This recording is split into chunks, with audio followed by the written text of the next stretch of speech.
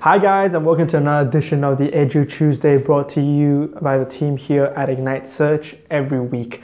So today we're going to be talking about mobile first indexing and the reason of that is because over the past several days uh, some of you may have been receiving emails from Google saying that some of your domains have switched over to mobile first indexing. Okay, so uh, just a little bit of a background on mobile first indexing. Uh, traditionally, websites have always uh, been crawled by a Googlebot that uh, is based on the desktop search experience, right? So desktop-led indexing.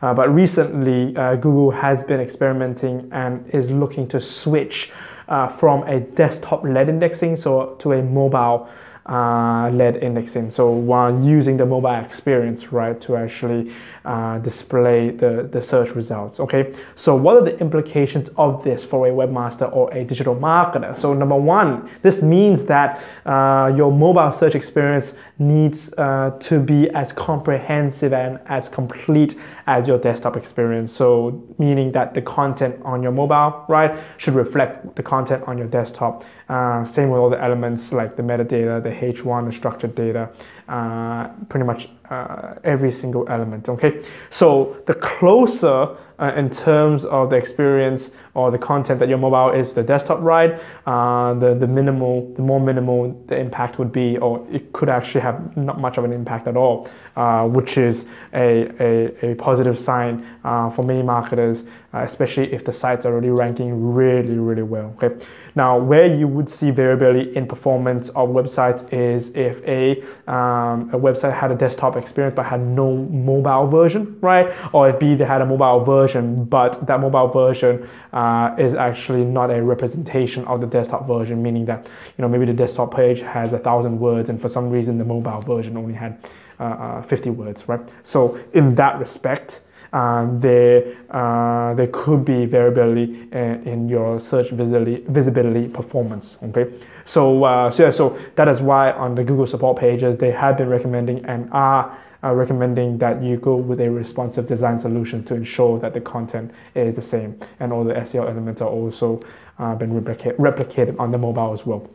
Okay, so so that's the that's the the, the main thing to um, to uh, focus on. Now there are two more things of note uh, of this is that number one, of course, uh, your website is always going to be ranked and uh, displayed in search results relative to other websites. Uh, do take note that some uh, elements uh, of the, I guess, uh, some ranking factors uh, are a little bit different um, desktop to mobile, right? In terms of the degree. So, say for example, page speed, right? You would expect that the page speed of the desktop will be slower than the page speed of the mobile. so, to ensure that you maintain your rankings, right, always try to focus on improving the page speed of your mobile website relative to other mobile uh, or competing mobile websites. Okay, so that's number one. And number two is that uh, although most of the fundamental principles are the same uh, in terms of like you know content, backlinks, you know H1 metadata, all that kind of things, uh, there are a few things that are specific to the mobile search experience that you should definitely uh, take note of, right? And you can easily Google this and, and find out.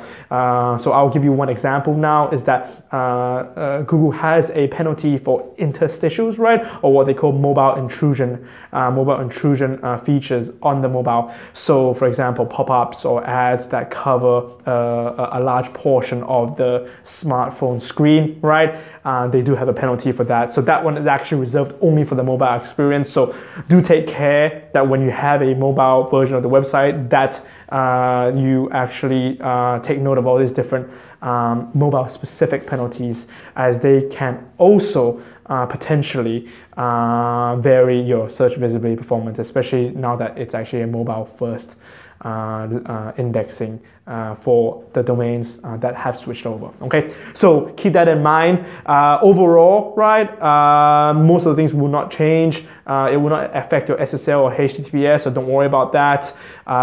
definitely important to keep this in mind. Uh, the, the changes happening here. So yeah, so uh, do more research onto it. We'll put the links in the comments uh, in, in, regards to the interstitial and the mobile intrusion uh, in the comments below, right? So you can check that out. But thanks for listening and watching, and we will see you next week. Bye.